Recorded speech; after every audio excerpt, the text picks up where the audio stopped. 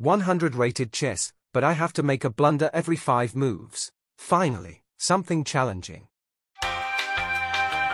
We get an exactly 100 rated from Denmark, e4. I'll reply with e5.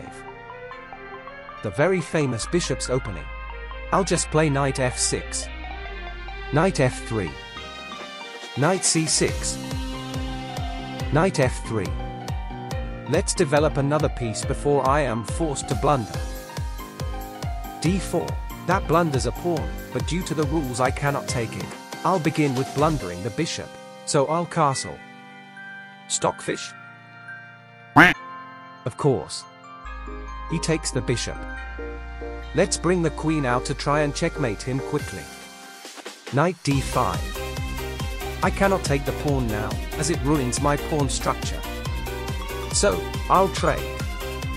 He recaptures with the bishop. I'll take this pawn. Bishop e3. That attacks my queen.